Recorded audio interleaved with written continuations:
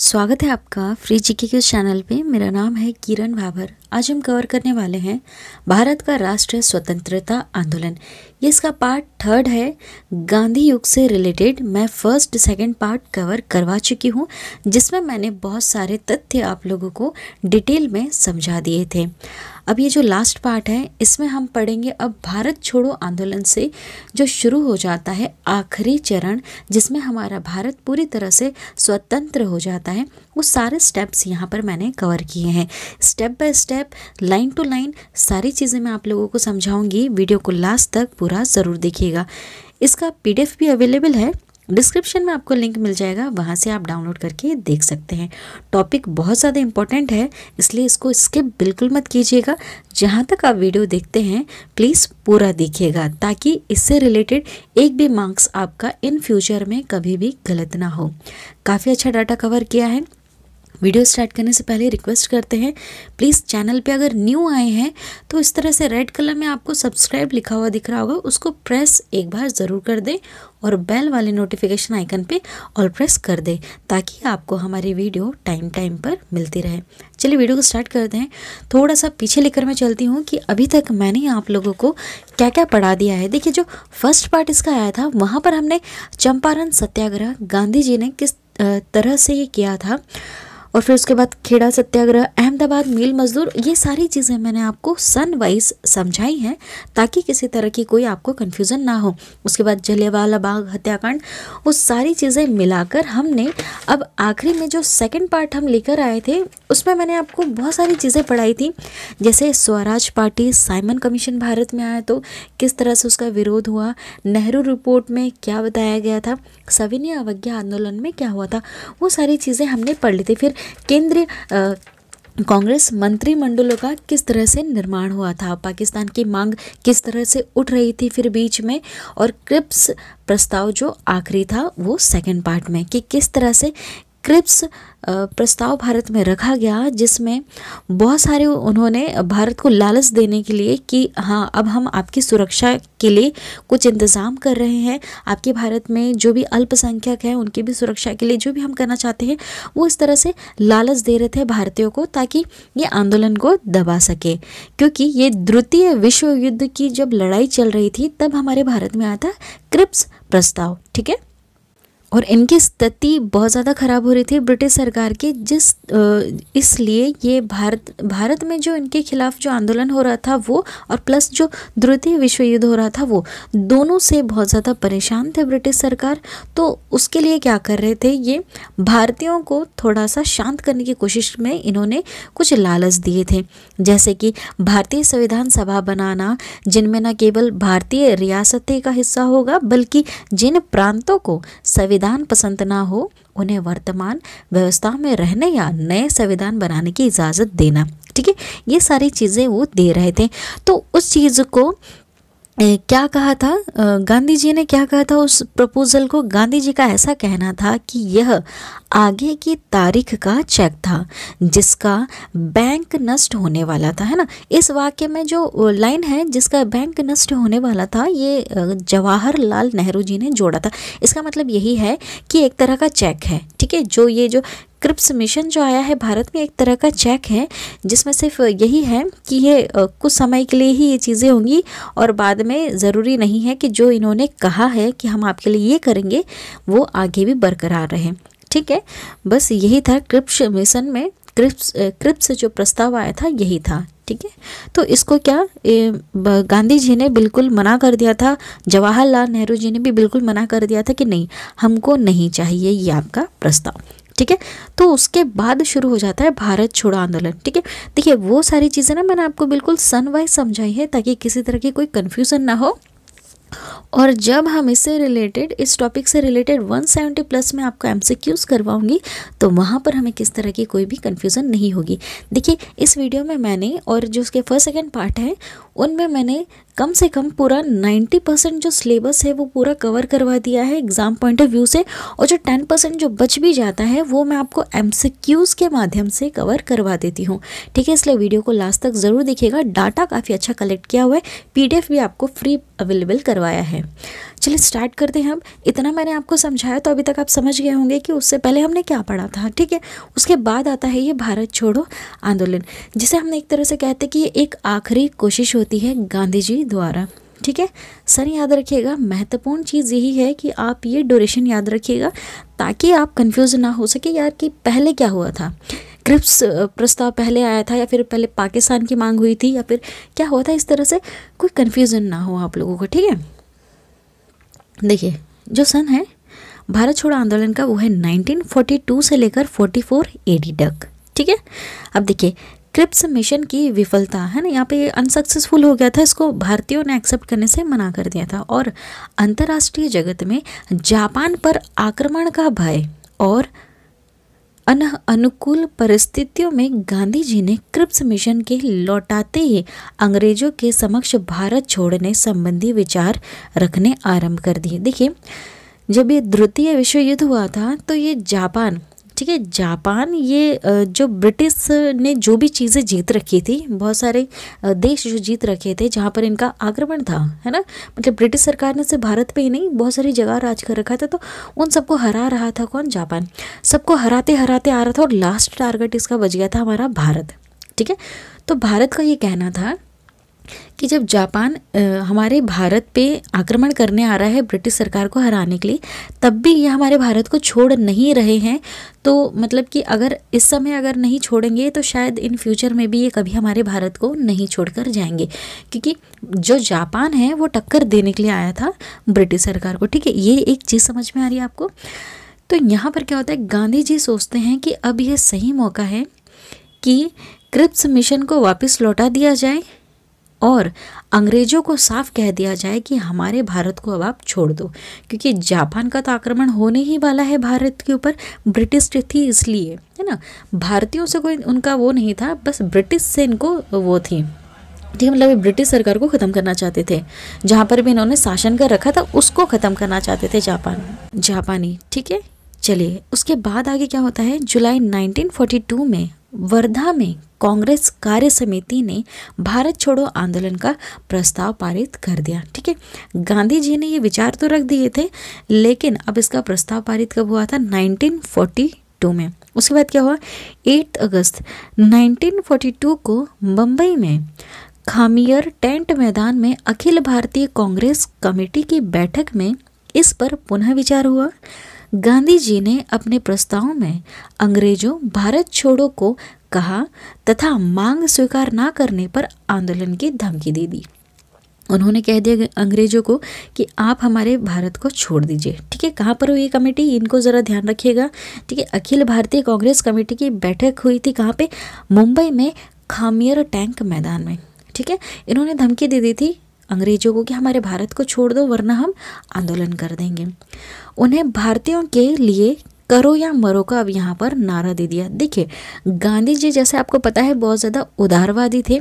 इन्होंने स्वयं खुद जब प्रथम विश्व युद्ध हुआ था तो इन्होंने खुद भारतीयों को कहा था कि तुम अंग्रेज़ों की सेना में भर्ती हो जाओ, जिस वजह से इन्हें भर्ती कराने वाला सर्जन भी कहा जाता है गांधी जी को। और गांधी जी उदारवादी थे थोड़े, ब्रिटिश सरकार के इतना ज़्यादा खिलाफ नहीं थे, लेकिन जब इन्हें पता चला कि इन्होंने कुछ ज़्यादा ही भारतीयों को टॉर्चर कर रखा है तो अब धीरे धीरे इनके विचार भी देखिए। ये मतलब हिंसा तो बिल्कुल नहीं चाहते थे, लेकिन धीरे धीरे अभी ये क्या इन चीज़ों पर आ जाते हैं। अब यहाँ पर इन्होंने सीधे ये अपना एक लाइन कह दी, इन्होंने नारा दे दिया कि करो या मरो, या तो तुम कुछ कर जाओ भारत के लिए, या तो तुम यहाँ पर मर जाओ। ठीक है? करो मतलब कि या तो इनको मार दो, मरो या तो आप अपना बलिदान दे दो। ठीक है? बस यही एक नारा था जिसने सारे वर्ग के लोगों में एक कहते हैं ना, एक राष्ट्रीयता पैदा कर दी कि हाँ अब तो हमें लड़ना ही है और इन अंग्रेज़ों को भारत भारत से बाहर निकाल देना है। ठीक है? देखिए अब फिर क्या होता है? आगे इनके इस नारे से क्या बदलाव होता है? 9 अगस्त 1942 को कांग्रेस के सभी प्रमुख नेताओं को गिरफ़्तार कर लिया, जो अधिकतर मुंबई में थे।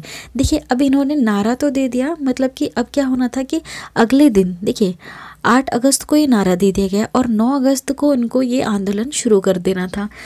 एक ही रात में क्या हो जाता है? ज़ीरो ज़ीरो ज़ीरो आर चलाकर अंग्रेज़ों ने उन सारे नेताओं को गिरफ़्तार कर लिया, जो आंदोलन का बड़ा हिस्सा बन रहे थे। नेतृत्व कर रहे थे ना? मतलब सारे वर्ग के लोगों को मान लेते हैं कि कोई मुंबई से, कोई दिल्ली से, कोई महाराष्ट्र से, इन सब का नेतृत्व अलग अलग नेता कर रहे थे तो इन सब बड़े बड़े नेताओं को क्या कर दिया? बंदी बना लिया गया, गिरफ़्तार कर लिया गया। गांधी जी को गिरफ़्तार नहीं किया गया था, लेकिन नज़रबंद कर लिया गया था कि ये कुछ हंगामा ना करे इस तरह से। ठीक है, करने का इनका यही विचार था क्योंकि इन्हें पता चल गया था कि अब ये अगले दिन आंदोलन करेंगे। तो जब कोई आंदोलन का नेतृत्व करने वाला बड़ा लीडर होगा नहीं तो सारे लोग घर से बाहर कैसे निकलेंगे? उनको मतलब कौन बताएगा कि अब आपको क्या नेक्स्ट स्टेप करना है? इस वजह से ज़ीरो आर चलाया और रात को ही रातों रात सारे नेताओं को गिरफ़्तार कर लिया गया। ठीक है, देखिए, फिर क्या होता है? सबको गिरफ़्तार तो कर लिया गया, लेकिन फिर भी ये आंदोलन नहीं रुका।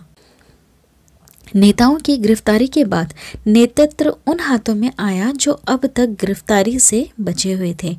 कांग्रेस सोशलिस्ट पार्टी के नेताओं ने भूमिगत रहकर आंदोलन चलाने का निर्णय लिया। देखिए, कांग्रेस सोशलिस्ट पार्टी है, जिसके बारे में अभी थोड़ा सा मैं आपको और आगे बता दूँगी और इसके बारे में हम पढ़ चुके हैं, ठीक है? पार्टी बनी थी, बीच में और भी बहुत सारे बने थे जो भूमिगत थे। मतलब कि फ़र्स्ट लाइन में आने वाले जो लीडर थे, वो तो काफ़ी बड़े बड़े थे। ठीक है लेकिन उनके पीछे और छोटे छोटे लीडर्स भी थे, जिन्हें कहते हैं कांग्रेस सोशलिस्ट पार्टी। ठीक है, ये जगह जगह के प्रांत में बने हुए थे। तो भूमिगत मतलब कि इनको तो गिरफ़्तार नहीं किया गया बड़े बड़े लोगों को ज़रूर गिरफ़्तार कर लिया बड़े बड़े नेताओं को। तो ये भूमिगत में रहकर ही आंदोलन चला रहे थे। ठीक है छोटे छोटे जो वर्ग थे जैसे कॉलेज के बच्चे जो थे, किसान जो थे ठीक है सेना जो थे उन सबको ये अपनी आ, मतलब ये छुप छुप कर क्या कर रहे थे नेतृत्व कर रहे थे ये सारे नेता। बता रहे थे कि अब आपको आंदोलन किस तरह से करना है और क्या क्या करना है स्टेप्स बता रहे थे। ठीक है?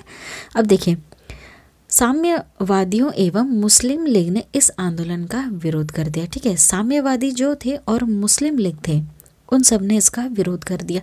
ये इनमें हिस्सा नहीं ले रहे थे। ठीक है, ये भी पार्टीज़ हैं, याद रखिएगा, जैसे कांग्रेस सोशलिस्ट पार्टी है और राष्ट्रीय कांग्रेस पार्टी है, और साम्यवादी हो गया, मुस्लिम लीग हो गया, ठीक है, इस तरह से छोटी छोटी और पार्टीज़ थी, ठीक? तो ये, इनमें से ये दो पार्टी थी, एक साम्यवादी और एक मुस्लिम लीग। ये सब इस आंदोलन में जुड़े हुए नहीं थे, क्योंकि जो ब्रिटिश सरकार थी, वो कहीं ना कहीं मुस्लिम लीग के लिए इन्होंने क्या मुस्लिम जो ब्रिटिश सरकार थी, उनका सिर्फ़ एक ही नारा था कि फूट डालो और क्या करो, शासन करो। तो ब्रिटिश सरकार क्या करती थी, मुस्लिमों को थोड़ा क्या करते थे? उनको अच्छी पोजीशन दे देते थे मतलब उनके लिए कुछ अच्छा कर देते थे। और जो बाकी जो धर्म वाले लोग थे, उनको थोड़ा सा टॉर्चर करते थे। तो मुस्लिम लीग वाले इस पा, इस आंदोलन में शामिल नहीं हुए, क्योंकि ब्रिटिश सरकार के खिलाफ था। और दूसरी बात, उस समय मुस्लिम लीग सिर्फ़ एक ही चीज़ चाहती थी, पाकिस्तान की मांग कर रही थी। इसलिए भी ये इस आंदोलन में शामिल नहीं थे। इन्होंने एक दूसरा रास्ता निकाला था कि जब ये आंदोलन चल रहा था सब आंदोलन कर रहे थे ब्रिटिश सरकार के खिलाफ तो और मुस्लिम लीग क्या कर रहे थे? अपना सबको बता रहे थे कि अब हमको पाकिस्तान की मांग रखनी है। ठीक है? ये अपना दूसरी तरह से आंदोलन चला रहे थे, पाकिस्तान मांग की, और कांग्रेस सोशल पार्टी क्या कर रहे थे? ब्रिटिश सरकार के खिलाफ एक आंदोलन चला रहे थे। ठीक है? ये चीज़ आपको क्लियर हो गई। चलिए आगे बढ़ते हैं। उसके बाद क्या होता है? भारत छोड़ो आंदोलन। देश की आज़ादी के लिए किया गया अंतिम प्रयास था। ठीक है, सबसे लास्ट यही था। इसमें छात्र, किसान एवं मजदूरों ने जमकर हिस्सा लिया। ठीक है ये भी आपको बता दिया। ये सब अलग अलग वर्ग के लोग अब इस आंदोलन में आकर शामिल हो गए थे। गांधी जी ने कहा था छात्रों को कि अब आप स्कूल और कॉलेज छोड़ दो, तब तक के लिए कि जब तक आप आज़ाद नहीं हो जाते। ठीक है किसानों के लिए भी उनके ही लेवल के कुछ इंस्ट्रक्शन थे, मजदूरों के लिए भी थे और यहाँ पर सैनिकों ने भी हिस्सा ले रखा था। तो सैनिक भाइयों को गांधी जी ने कह दिया था कि अब आप अभी तक ब्रिटिश सरकार के लिए काम तो कर रहे थे, लेकिन उनके काम करना उनके लिए भी, लेकिन अब आप हिंदुओं पर गोली नहीं चलाओगे। ठीक है? ना मुसलमान पे चलाओगे, ना सिख पे, ना पारसी, जो भी धर्म थे उस समय, सिख ईसाई, किसी पर भी आप गोली नहीं चलाओगे। ऐसा कह दिया था गांधी जी ने, ठीक है? मतलब आप किसी भी लोगों के ऊपर गोली नहीं चलाओगे, ना किसी धर्म के ऊपर, ना किसी के ऊपर, ठीक है? जो सैनिक थे, ब्रिटिश सरकार के लिए काम कर रहे थे।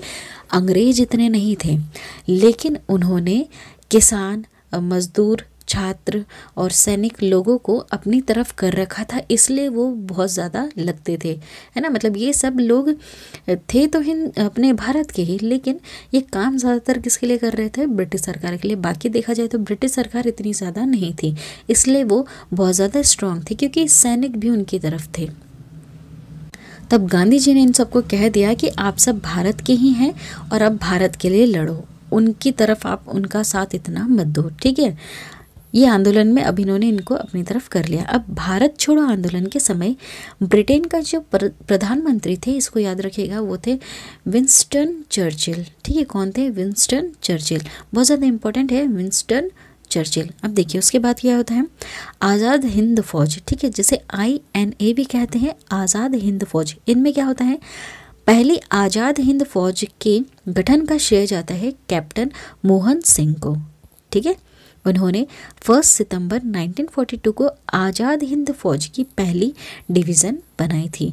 ठीक, जापानी अधिकारियों से सेना की संख्या और इसकी भूमिका के प्रश्नों पर मतभेद हो जाने के कारण यह सफल न हो सकी। एक बात रखिएगा, याद, देखिए जो आज़ाद हिंद फौज है है ना, ये जो गठन हुआ है इसका, और ये जो जापान के जो अधिकारी थे, जो आक्रमण करने वाले थे कुछ समय में ब्रिटिश सरकार के ऊपर, जो भारत में ही थे, तब तो यहाँ पर क्या थोड़ा सा मतभेद हो जाता है जापानी अधिकारी और ये जो आज़ाद हिंद फौज जो होती है, इनके बीच में, ठीक है? अब क्या होता है 2 जुलाई 1943 को सुभाष चंद्र बोस ने सिंगापुर पहुँचे एवं उन्होंने दिल्ली चलो का नारा दिया। ठीक है? याद रखिएगा, आज़ाद हिंद फौज से ही सुभाष चंद्र बोस जी जुड़े हुए थे। है ना? ये सिंगापुर पहुँचे और वहाँ पर इन्होंने नारा दे दिया कि अब दिल्ली चलो। सुभाष चंद्र बोस को 5 जुलाई 1943 को भारतीय स्वतंत्रता लीग एवं अक्टूबर 1943 ईडी को आज़ाद हिंद फौज का अध्यक्ष बना लिया जाता है। ठीक है? याद रखिएगा। दो जुलाई को तो इन्होंने ये नारा दे दिया सिंगापुर पहुँच के उसके बाद, है ना, पाँच जुलाई को इनको भारतीय स्वतंत्रता लीग एवं अक्टूबर 1943 को आज़ाद हिंद फौज का इनको अध्यक्ष बना लिया जाता है। ठीक है? उसके बाद क्या होता है? नेताजी ने आज़ाद हिंद सरकार के गठन की घोषणा की तथा तुम मुझे खून दो, मैं तुम्हें आज़ादी दूँगा का उद्देश्य दिया। ठीक है? अब क्या इन्होंने जो आज़ाद हिंद सरकार का जो गठन किया था, ये इन्होंने अलग से किया था और इनके खुद ये अध्यक्ष थे आज़ाद हिंद फौज के। अब यहाँ पर ये कहते हैं कि तुम मुझे खून दो मतलब कि आप बलिदान दो या फिर उनको मारो, मैं तुम्हें आज़ादी दिला दूँगा। ठीक है, इसी तरह से आज़ादी मिलेगी अब। करो या मरो, गांधी जी कह चुके थे। अब यही करना होगा, वरना आज़ादी मिलना बहुत मुश्किल है। सुभाष चंद्र बोस को बोस की अस्थायी सरकार को, जापान, जर्मनी, इटली, चीन, आयरलैंड, बर्मा एवं फिलीपींस से ने मान्यता दे दी थी। ठीक है, इन्होंने जो सरकार बना रखी थी, अस्थायी सरकार, उनको यहाँ सबसे मान्यता मिल गई थी। ठीक है मतलब कि अब ये थोड़े पावरफुल हो चुके थे। सेवेंथ मई 1945 को, द्वितीय विश्व युद्ध में जर्मनी एवं सिक्स अगस्त 1945 को हिरोशिमा एवं नागासाकी पर अमेरिका द्वारा बम गिराए जाने के कारण 15 अगस्त 1945 तक जापान दोनों ने अपनी पराजय स्वीकार कर ली। इससे जापान के अधीन सारे प्रदेश ब्रिटेन के अधिकार क्षेत्र में आ जाते हैं। ठीक है? अब देखिए, ये जो द्वितीय विश्व युद्ध होता है, इसमें सबसे महत्वपूर्ण घटना जो होती है, याद रखिएगा सिक्स अगस्त, ठीक है? 1945 को हिरोशिमा एवं नागासाकी पर अमेरिका द्वारा बम गिराए जाने के कारण, ठीक है? 15 अगस्त 1945 को जापान दोनों ने परा, अपनी पराजय को स्वीकार कर लिया। किसने? जर्मनी ने और जापान ने कर लिया। ठीक है जब ये द्वितीय विश्व युद्ध हुआ था। और जो भी हिस्सा इन्होंने था इनके जापान के अधीन में, वो सब किसके अंडर में आ जाता है? ब्रिटेन के अंडर में आ जाता है। उसके बाद क्या होता है? उनकी मृत्यु, है ना? सुभाष चंद्र बोस जी की मृत्यु कहते हैं कि 18 18 अगस्त 1945 को आमूसा द्वीप से टोक्यो जाते हुए अचानक हुए हवाई दुर्घटना में आ, मानी जाती है। इनकी मृत्यु इस तरह से हुई थी परंतु इसे अभी तक प्रमाणित नहीं माना जाता है। ठीक है इस चीज़ को कोई प्रमाणित नहीं मिले हैं लेकिन ऐसा कहा जाता है कि उनकी जो मृत्यु हुई थी सुभाष चंद्र बोस जी की वो हुई थी 18 अगस्त 1945 को। ठीक है आमूसा द्वीप से टोक्यो जाते हुए अचानक हो गई थी हवाई दुर्घटना में। आज़ाद हिंद फौज के गिरफ़्तार सैनिकों एवं अधिकारियों पर अंग्रेज़ सरकार ने दिल्ली के लाल किले में किले में नवंबर 95 को मुकदमे चला दिए। अब देखिए, आज़ाद हिंद फौज के जो अध्यक्ष थे सुभाष चंद्र बोस, उनकी ये मृत्यु हो गई, दुखद मृत्यु हो गई, उसके बाद क्या होता है, उनके अध्यक्ष तो मर जाते हैं तो उसके बाद क्या करते हैं? ये जो अंग्रेज़ सरकार होती है ये आज़ाद हिंद फौज के जो भी सैनिक होते हैं, उनको ये गिरफ़्तार कर लेते हैं और लाल किले में जाकर इनके ऊपर मुकदमे चलाने लग जाते हैं। मुकदमे क्या होते हैं? जैसे कि राजद्रोह का इनके ऊपर आरोप लग जाता है। इस मुकदमे के मुख्य अभियुक्त आईएनए आज़ाद हिंद फौज के तीन अधिकारी होते हैं उस समय। कर्नल सहगल, कर्नल डिल्लो एवं मेजर सहनाजवा पर राजद्रोह का आरोप लगाया जाता है। ठीक है ये आ, तीन अधिकारी होते हैं इनके ऊपर आरोप लगा दिया जाता है कि आपने राजद्रोह कर दिया है।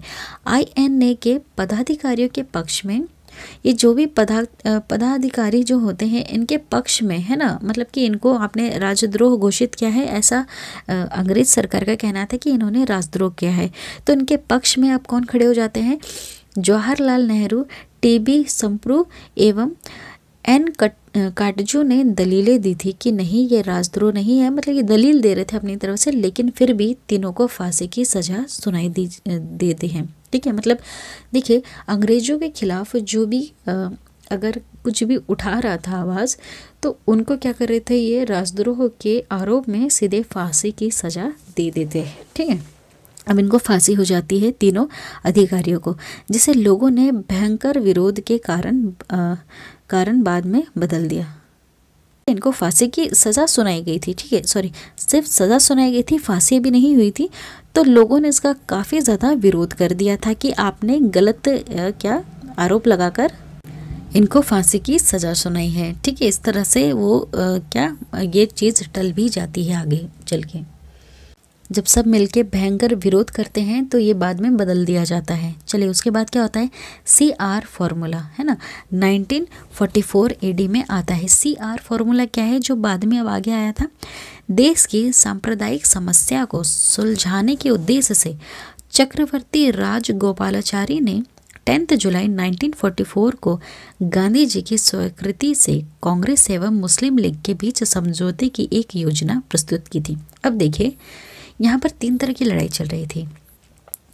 जो गांधी जी है, ये ब्रिटिश सरकार को हटाना चाहते थे, है ना? बिल्कुल अंग्रेज़ों को कह दिया था, भारत छोड़ दो।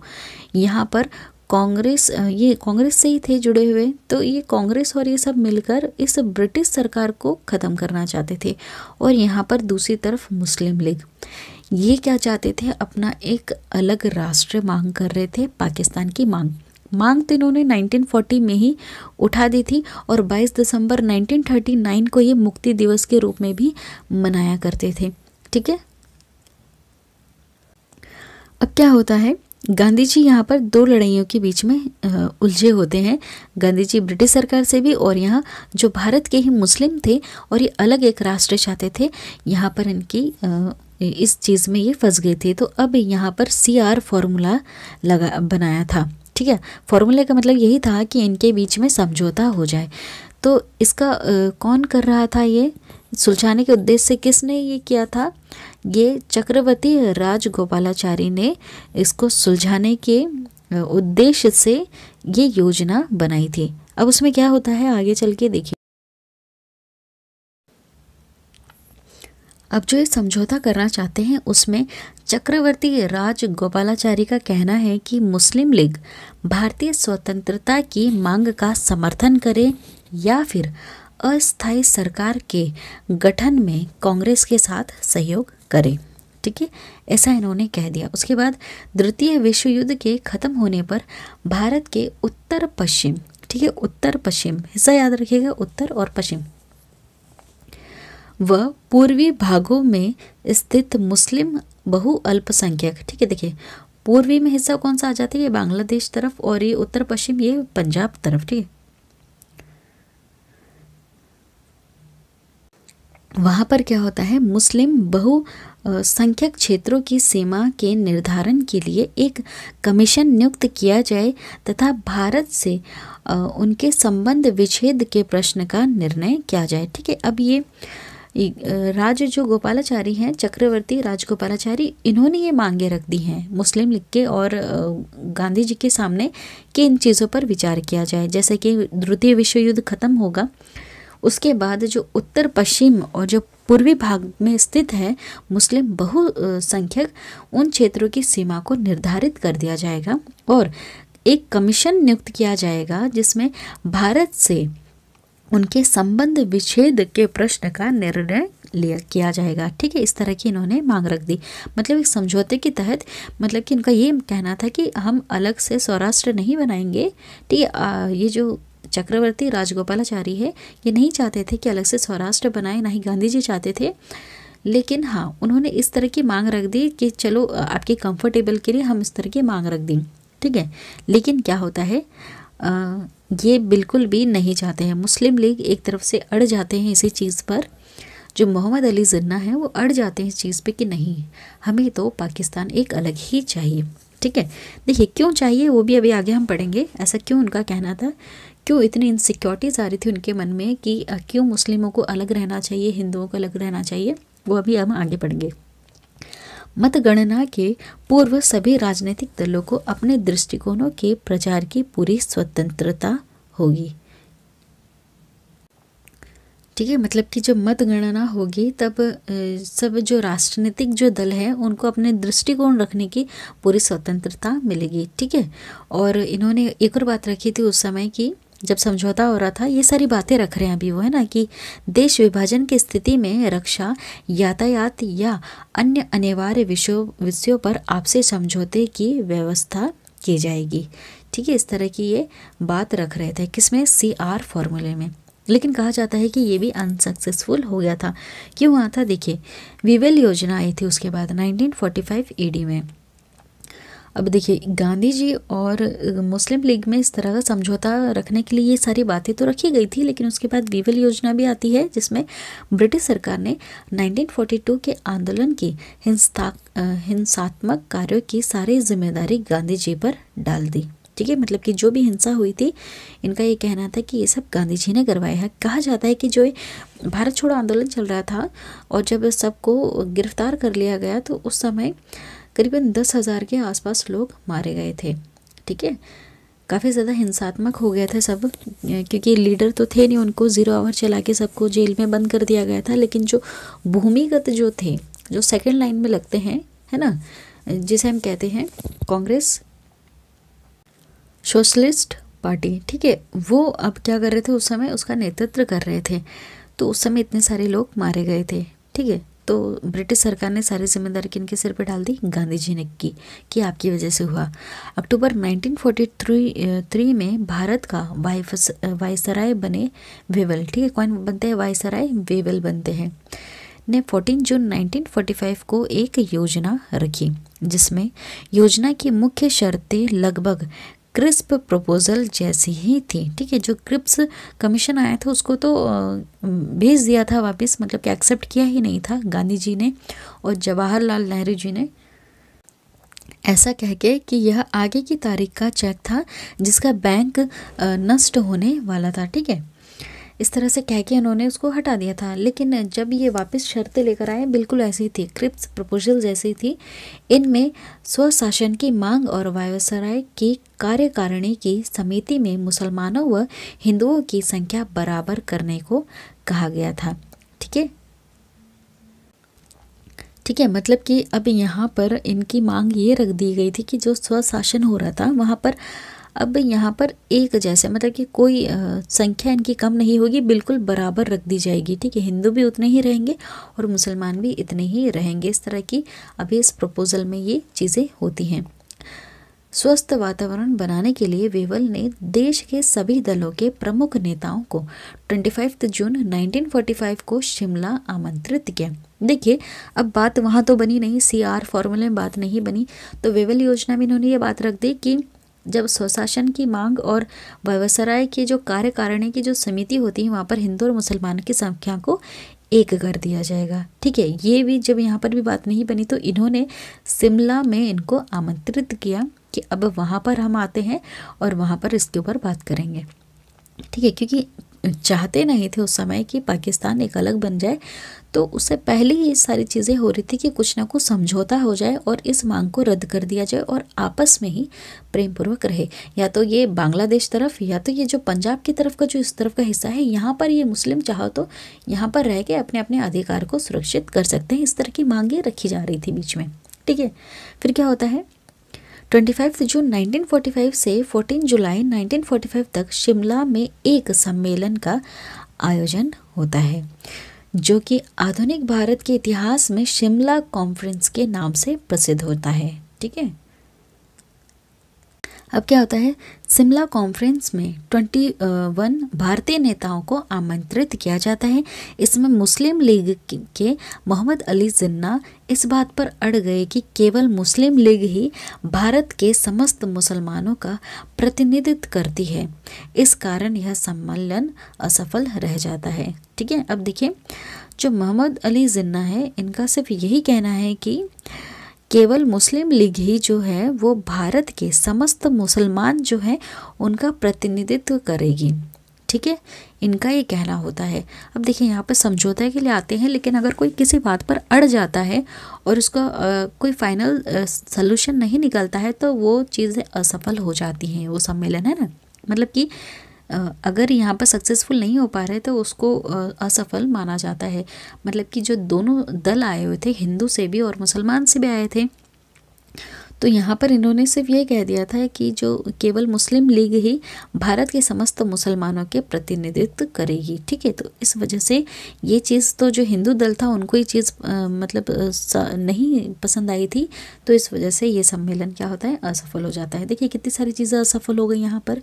सी आर फार्मूला असफल हो गया, उसके बाद विवल योजना भी असफल हो गई। ठीक है, फिर उसके बाद क्या होता है? 1945 से 46 एडी का निर्वाचन होता है। 1945 से 46 में केंद्र तथा प्रांतीय चुनाव संपन्न होते हैं। अब यहाँ पर चुनाव होता है।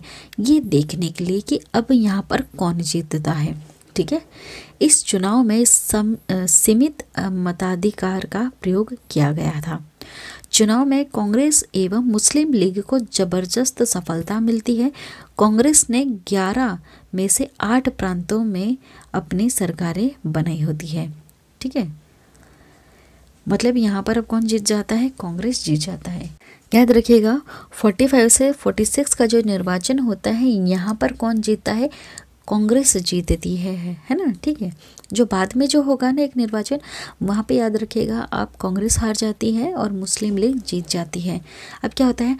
वायुसेना और नौसेना विद्रोह होता है इस बीच में 1946 ईडी में, ठीक है? देखिए, यहाँ पर जो चीज़ें जिसके जस्ट बाद जो सन आ रहा है ना, उसे मैं आपको कवर करवाती जा रही हूँ ताकि कोई कन्फ्यूज़न आपको ना हुए कि उसके बाद क्या हुआ था। उसके बाद एक विद्रोह हो जाता है, वायुसेना और नौसेना का विद्रोह। ये जब निर्वाचन हो रहा होता है, उसी समय, ठीक है?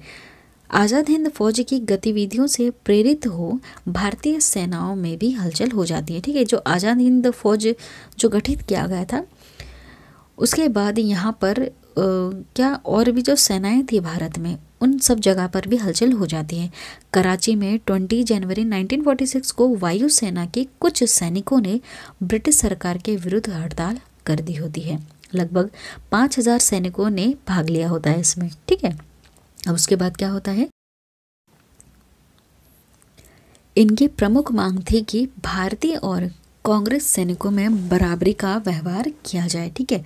क्योंकि जो ब्रिटिश सरकार थी, वो भारतीयों को इतना ज़्यादा रिस्पेक्ट नहीं देते थे जितना वो अंग्रेज़ सैनिकों को देते थे, क्योंकि अंग्रेज़ों का यही मानना था कि हम भारतीयों पर राज करने के लिए ही आए हैं, ठीक है? तो इसलिए इनको ट्रीट भी इस तरह से किया जाता था।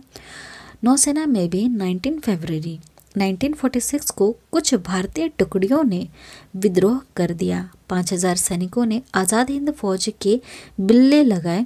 इन्होंने भी बराबरी की मांग यहाँ पर कर दी, ठीक है? ठीक है, अब किसने? वायुसेना और नौसेना दोनों ने विद्रोह कर दिया। कम से कम दोनों की तरफ़ से पाँच पाँच हज़ार सैनिकों ने यही मांग रखी कि हमको बराबरी दी जाए, ठीक है? उसके बाद सरकार का दमन चक्र चलता है इसके ऊपर। अंत, सरदार वल्लभ भाई पटेल की मध्यस्थता से यह विद्रोह समाप्त हो जाता है। ठीक है, जब विद्रोह कर रहे हैं तो सरकार इसका दमन करती है। दमन मतलब कि दबाना उस चीज़ को। जो ये मांग उठा रहे हैं, उसको दबा दिया जाए। तो यहाँ पर बीच में सरदार वल्लभ भाई पटेल जी आते हैं और इन के बीच में मध्यस्थता कर देते हैं। ठीक है? मतलब कुछ बात हो जाते हैं विचार विमर्श होता है और ये विद्रोह वहीं पर समाप्त हो जाता है। ठीक है? उसके बाद देखिए, कैबिनेट मिशन योजना होती है 1946 में, ठीक? मतलब उसी समय की बात है, जब यहाँ पर निर्वाचन हो रहे थे और ये जो विद्रोह हो रहा था, वायुसेना, नौसेना का विद्रोह, और उसी समय कैबिनेट मिशन योजना भी हो रही थी। इसमें क्या था? क्लीमेंट इटली की ब्रिटिश सरकार ने, ठीक है? क्लीमेंट इटली की ब्रिटिश सरकार ने फिफ्टीन मार्च 1946 को एक घोषणा करी। जिसमें भारतीयों के आत्मनिर्माण के अधिकार और संविधान बनाने को मान लिया गया। ठीक है? अब यहाँ पर क्या घोषणा हो जाती है कि भारतीयों के आत्मनिर्णय, है ना, आत्मनिर्णय के अधिकार जो भी हैं और संविधान बनाने को मान लिया जाता है। ठीक है? संविधान किन्होंने बनाया है? कौन है इसके जन्मदाता? आपको पता है भीमराव अंबेडकर जी। उनके बारे में हम अलग से पढ़ लेंगे, क्योंकि अभी हम यहाँ पर गांधी युग के बारे में पढ़ रहे हैं, इसलिए मैं यहाँ पर गांधी जी के ऊपर ज़्यादा आपको डिटेल में समझा रही हूँ। उसके बाद जो हम अलग जो भी नेता हैं, लीडर्स हैं, उनके बारे में हम अलग से पढ़ेंगे के करके, ताकि और पिक्चर आपको अच्छी तरह से क्लियर हो जाए, क्योंकि यहाँ पे तमाम नेता लोग जुड़े हुए हैं। उसके बाद क्या होता है? इस ऐतिहासिक घोषणा के बाद ब्रिटिश कैबिनेट के तीन सदस्य होते हैं। कौन कौन से होते हैं? पैथिक लॉरेंस, जो अध्यक्ष होते हैं, सर स्टेफोर्ड्स क्रिप्स और ए बी अलेक्जेंडर को भारत में भेज दिया जाता है। जो घोषणा करते हैं इस चीज़ की कि भारतीयों को आत्मनिर्णय के अधिकार और संविधान बनाने का आ, मतलब ये मान लेते हैं कि हाँ आप इस तरह के संविधान बना लीजिए। तो इसके लिए ये कुछ सदस्य को भेजते हैं ठीक है? संविधान बना अब उसके बाद क्या होता है? देखिए कैबिनेट मिशन 24 मार्च 1946 को दिल्ली पहुँचता है एवं 16 मई 1946 को कैबिनेट मिशन योजना प्रस्तुत किया गया। इस योजना में एक ऐसे त्रिस्तरीय संविधान का प्रस्ताव रखा गया, जिसमें भारत की राजनीतिक एकता को बनाए रखने का प्रयास किया जाता है। ठीक है? उसके बाद इस योजना में एक संविधान सभा के गठन का भी प्रस्ताव होता है। ठीक है, संविधान सभा एक अलग से एक सभा होती है, उसका गठन का प्रस्ताव भी इसमें रखा जाता है। कैबिनेट मिशन योजना को विभिन्न राजनीतिक दलों ने अपने अपने दृष्टिकोण से अब देखा। ठीक है, अब ये जो योजना इन्होंने दी थी, जिसमें संविधान सभा का गठन करना था, इसको अब जितने भी ये राजनीतिक दल थे जैसे मुस्लिम लीग हो गया, कांग्रेस की अलग हो गई और और भी अलग अलग थे उसमें, ठीक है? तो इन सबने इस चीज़ को अपने अपने दृष्टिकोण से देखा मतलब अपने अपने विचार लगाकर इस चीज़ को समझने लगे। कांग्रेस ने योजना के अनेक दोष पाए तथा लीग को पाकिस्तान के मांग की पूर्ति होते नहीं दिखी। ठीक है, अब क्या होता है कि ये जो लेकर आ रहे थे, एक सभा का एक गठन करना चाहते थे इस ठीक है अब इसमें क्या होता है कि कांग्रेस ने योजना में, इस योजना में बहुत सारे दोष पा लिए हैं, ठीक है? मतलब कि ये सही नहीं है, कहीं ना कहीं इनको ये लगा कांग्रेस पार्टी को। और दूसरा जो ये Pakistan sorry, Muslim league party थी, इनका ये समझना था कि इसमें पाकिस्तान की मांग की पूर्ति नहीं हो पाएगी। ये जो बनाना चाहते हैं, ठीक है, जो ये संगठन बनाना चाहते हैं, गठन करना चाहते हैं, संविधान का सभा का जो गठन करना चाहते हैं, उसमें हमको शायद पाकिस्तान नहीं मिलेगा, ऐसा मुस्लिम लीग का समझना था और कांग्रेस का ये मानना था कि इसमें काफ़ी सारे दोष हैं। परंतु लीग ने, है ना सिक्स जून एवं कांग्रेस ने 25 जून 1946 को इस योजना को स्वीकार कर लिया होता है, ठीक है? देखिए, सबसे पहले जो मुस्लिम लीग हैं, इन्होंने 6 जून को इसको स्वीकार कर लिया और 25 जून को किसने? कांग्रेस पार्टी ने इसको स्वीकार कर लिया। इसके तहत संविधान सभा के गठन के लिए अब चुनाव होना था, ठीक है? संविधान कैसे बनेगा? जब उसका चुनाव होगा, ठीक है? तो 1946 में चुनाव अब कराए जाते हैं। अब देखिए, क्या होता है उसके बाद?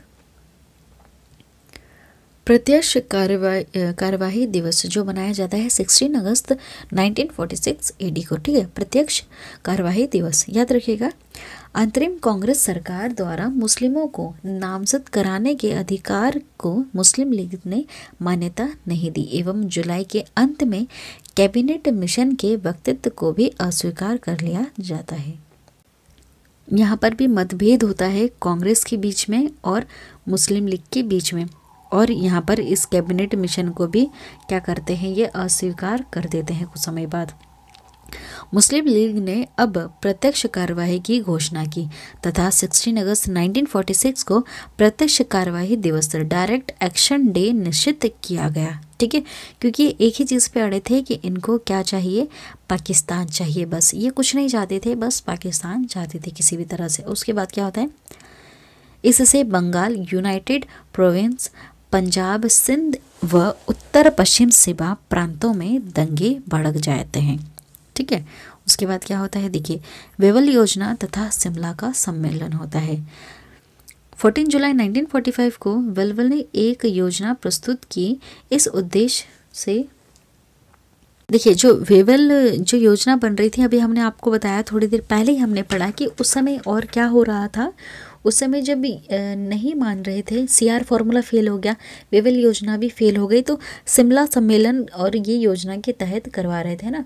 उसके बीच में निर्वाचन भी हो जाता है, वायुसेना, नौसेना में विद्रोह भी हो जाता है, कैबिनेट मिशन योजना भी आ जाती है, वो भी अनसक्सेसफुल हो जाती है।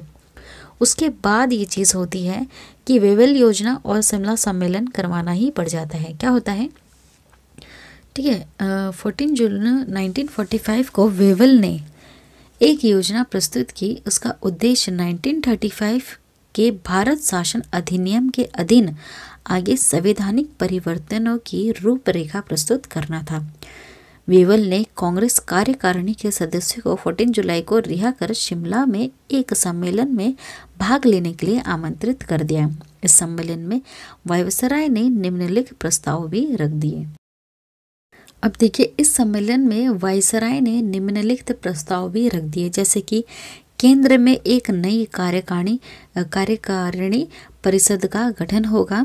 कार्यकारिणी परिषद में भारतीय सदस्यों को दलों के आधार पर शामिल किया जाएगा। इसमें मुस्लिम एवं स्वर्ण हिंदू कांग्रेस बार बार बराबर बराबर होंगे, ऐसा ये वायसराय का कहना था। इस व्यवस्था यह व्यवस्था अंतरिम होगी जब तक कि भारत का संविधान बनकर ना तैयार हो जाए। ठीक है? जब तक संविधान नहीं बनेगा, तब तक ये सारी चीज़ें इसमें होगी। ऐसा इनका कहना था। उसके बाद क्या होता है? कांग्रेस ने स्वयं को स्वर्ण हिंदू निकाय कहे जाने का आपत्ति इन्होंने करी, आपत्ति करी कि इसको जो कांग्रेस है, उसको स्वर्ण हिंदू ना कहा जाए, क्योंकि ये हर समुदाय के लिए बनाया था हमने। कांग्रेस पार्टी बनी ही इसलिए थी कि हर वर्ग के इंसान की बात सुनी जा सके। वो मज़दूर हो सकता है, वो किसान हो सकता है, वो स्कूल का स्टूडेंट हो सकता है, सैनिक हो सकता है। हर वर्ग के इंसान की बात सुनकर किसको बताई जाए? ब्रिटिश सरकार को बताई जाए। इसलिए कांग्रेस का गठन किया गया था। कांग्रेस ने नहीं सोचा था कि इसको धर्म के आधार पर चलाया जाए। लेकिन मुस्लिम लीग जब बनती है तो उन्होंने सिर्फ़ मुसलमान के बारे में सोचा। मुस्लिम लीग को ऐसा लगता है कि ये जो कांग्रेस है, ये सिर्फ़ हिंदू के बारे में सोचती है। लेकिन कांग्रेस बनाई इसलिए गई थी कि हर इंसान की बात पहुंचाई जाए कहाँ कांग्रेस के लिए सॉरी, ब्रिटिश सरकार के पास। इसलिए कांग्रेस बनाई गई थी, है ना? हमने अच्छी तरह से पढ़ लिया। ये जो राष्ट्रीय चरण जो हुआ था, प्रथम द्वितीय हमने पढ़ लिया। गांधी युग जो है, उसको तीन पार्टी में अभी हम पढ़ रहे हैं। तो प्रथम चरण में हमने पढ़ लिया था कि किस तरह से उदारवादी नरम वादी दल होते हैं, जो कांग्रेस पार्टी के होते हैं, उसके बाद ये उग्रवादी और उसमें बदल जाती है। ठीक है, वो सारी चीज़ें हमने पढ़ ली। तो कांग्रेस किसी धर्म के लिए नहीं था, एक धर्म के लिए नहीं था, कांग्रेस सब इंसानों के लिए था। वो मजदूर हो सकते हैं, किसान हो सकते हैं, कोई भी हो सकते हैं, ठीक है। लेकिन मुस्लिम लीग सिर्फ़ मुस्लिम ही था, ठीक है। तो अब कांग्रेस को इसलिए वो क्या कह रहे थे? स्वर्ण हिंदू कह रहे थे, जो इनको बात बिल्कुल भी अच्छी नहीं लग रही थी। कांग्रेस ने मुसलमानों सहित किसी भी समुदाय के सदस्य को मनोनीत करने के अधिकार की मांग कर ली थी। ठीक है, कांग्रेस का ये कहना था कि हमारे यहाँ पर कोई भी समुदाय का सदस्य हो सकता है। ठीक है, ऐसा कुछ भी नहीं है कि हिंदू होगा या मुस्लिम होगा। उसके बाद क्या होता है? लीग ने अपने आप को मुसलमानों का एकमात्र प्रतिनिधि बनाया। तथा परिषद के सभी मुस्लिम सदस्यों के मनोनयन का अधिकार भी इन्होंने मांग लिया, ठीक है? लेकिन मुस्लिम लीग सिर्फ़ यही चाहती थी कि इसमें सिर्फ़ मुसलमानों को एकत्र किया जा सके, ठीक है? इस तरह से इनकी एक अलग ही मांग चल रही थी। लीग लीग किसे कह रहे हैं? मुस्लिम मुस्लिम लीग को ही कह रहे हैं, ठीक है? मुस्लिम लीग ने मुसलमानों से संबंधित मामलों का निर्णय दो तिहाई बहुमत से करने की मांग कर दी। बात है माउंटेन योजना 1947 में, ठीक है? Three June nineteen forty seven, ठीक है? ये नाइनटीन फोर्टी सेवन है। फोर्टी सेवन समझ लीजिएगा, नाइनटीन फोर्टी सेवन को माउंटेबन ने अपनी योजना प्रस्तुत की होती है, ठीक है? इसमें ब्रिटिश भारत का विभाजन भारत व पाक में किया जाना स्वीकार लिया होता है। ठीक है? ब्रिटिश ये मान लेते हैं कि अब विभाजन ही करना होगा क्योंकि जो मुस्लिम लीग है, वो अड़ गए थे पाकिस्तान के लिए। ठीक है? इसलिए इन्होंने भी इस चीज़ को एक्सेप्ट कर लिया था कि हाँ भारत और पाकिस्तान इस तरह से विभाजित कर देना चाहिए। ठीक है? ब्रिटिश सरकार ने ये मान लिया था। उसके बाद पंजाब बंगाल के विभाजन हेतु जनमत संग्रह भी हो रहा था। देसी रियासतें चल रही थी, अपनी इच्छा से चाहे जहाँ रहे। ठीक है? उसके बाद विभक्त देश के बीच लेनदारियों, देनदारियों का समझौता भी होगा। राष्ट्रमंडल की सदस्यता से त्याग का अधिकार भी होगा। ठीक है, ये सारी चीज़ें थी माउंटेबन योजना के तहत। अब देखिए, यहीं से स्वतंत्रता की किरण नज़र आने लगती है। वेवल के स्थान पर आए गवर्नर, है ना? वेवल योजना हमने पढ़ ली, उसके बाद आते हैं ये जनरल गवर्नर जनरल आते हैं माउंटेबन की योजना को ब्रिटिश संसद में पाँच जुलाई को रखा जाता है, जो 18 जुलाई 1947 को भारतीय राष्ट्रीयता अधिनियम के रूप में पारित हो जाता है, जिसमें भारत तथा पाक दो स्वतंत्र राज्यों की स्थापना होती है। ठीक है? देश भी कह रहे थे और राज्य भी कहा जा रहा था उस समय उसको। है ना ब्रिटिश क्राउन के प्रभुत्व की यहाँ पर समाप्ति हो जाती है। भारतीय सचिव पद की समाप्ति आदि बातें भी इसमें हो रही थी। ठीक है मतलब भारत सचिव पद भी यहाँ पर समाप्त कर दिया जा रहा था। यह भी उल्लेखनीय है कि नए संविधान बनाने के पहले वर्तमान संविधान सभाओं ने 1935 एक्ट के आधार पर ही कार्य किया। ठीक है?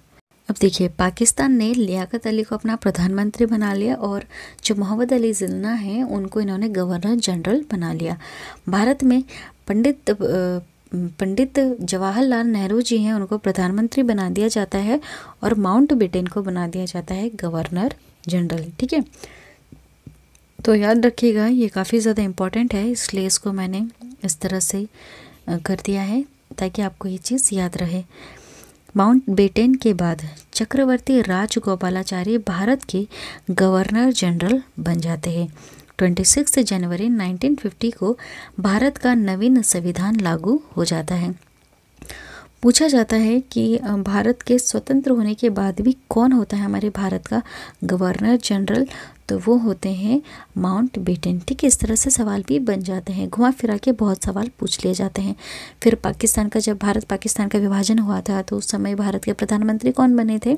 तो थे पंडित जवाहरलाल नेहरू जी बने थे। और पाकिस्तान के कौन थे? तो वो थे लियाकत अली, प्रधानमंत्री और गवर्नर जनरल थे मोहम्मद अली जिन्ना। ठीक है, जिन्ना। अब देखिए, उसके बाद क्या होता है? भारतीय संविधान का निर्माण होता है, कैबिनेट मिशन योजना के अनुसार हो जाता है। ठीक है? कैबिनेट मिशन योजना के अनुसार हो जाता है। ठीक है? ये भी याद रखिएगा कि अब उनके बाद, माउंट बेटन के बाद आते हैं चक्रवर्ती राज गोपालाचार्य भारत के गवर्नर जनरल बनते हैं और उसके बाद यहाँ पर 26 जनवरी 1950 को भारत का नवीन संविधान लागू हो जाता है और ये किसके अनुसार होता है? कैबिनेट मिशन योजना के अनुसार ही रहता है ना? इसको याद रखिएगा। अब देखिए, कुछ इंपॉर्टेंट लाइन है कि अब बाद में क्या होता है? गांधी जी कहाँ जाते हैं? गांधी जी ने स्वतंत्र और अखंड भारत के लिए जीवन भर युद्ध लड़ा होता है। फिर भी जब देश विभाजित हो गया तो उनकी यही इच्छा थी कि दोनों देश एक दूसरे के साथ समान और दोस्ती के संबंध बनाए रखें। ये बात हर किसी को पसंद नहीं आई। बहुत सारे भारतीयों को उनका यह सहृदय आचरण पसंद नहीं आता। ठीक है किसी को एक चीज़ पसंद नहीं आई थी बहुत सारे लोगों को। उसके बाद क्या होता है तेईस जनवरी की शाम को गांधी जी को दैनिक प्रार्थना सभा के आ, में एक युवक ने उनको गोली मारकर मौत की नींद सुला दिया। उनके हत्यारे ने कुछ समय बाद आत्मसमर्पण भी कर दिया। वह नाथोराम गोडसे नाम का ब्राह्मण था, ठीक है? याद रखिएगा, ये नाथोराम गोडसे नाम का एक ब्राह्मण था। उसके बाद क्या होता है? पुणे का रहने वाला गोडसे एक चरमपंथी हिंदूवादी अखबार का संपादक था। वह गांधी जी को मुसलमानों का खुशामदी, ठीक है, किस नाम से पुकारता था? मुसलमानों का खुशामदी कहकर उनकी निंदा करता था। गांधी जी की मृत्यु से चारों ओर गहरे शोक की लहर दौड़ गई। भारत भर के राजनीतिक फलक पर उन्हें भावभीनी श्रद्धांजलि दी जाती है। ठीक है? उसके बाद और भी थे, एल्बर्ट आइंस्टाइन, उन सबने भी उनको श्रद्धांजलि दी थी। तो ये यहाँ तक था, पूरा संघर्ष किस तरह थे से गांधी जी ने हमारे भारत को आज़ाद करवाए, वो ए टू जेड मैं आपको सारी चीज़ें समझा चुकी हूँ। ठीक है ए टू जेड बहुत ही कम ऐसे पॉइंट्स होंगे जो मिस किए होंगे, ना के बराबर नाइन्टी परसेंट मैंने कोर्स आपका यहाँ पर कवर करवा दिया। बाकी टेन परसेंट कुछ भी बच जाता है, वो सब मैं आपको कहाँ एम में कवर करवा दूँगी। हमारे चैनल को ज़रूर सब्सक्राइब करना भूलना बिल्कुल भी नहीं। बहुत सारे लोग ऐसे हैं जो सब्सक्राइब नहीं किए हैं तो प्लीज़ रिक्वेस्ट है आप सभी लोगों से सब्सक्राइब ज़रूर कर लें और इस बेल पे भी ऑल प्रेस कर लें। और वीडियो को स्किप बिल्कुल मत कीजिएगा क्योंकि काफ़ी अच्छा डाटा हम कलेक्ट करके आप लोगों को समझाते हैं ताकि आपका एक भी मार्क्स गलत ना हो। चलिए थैंक यू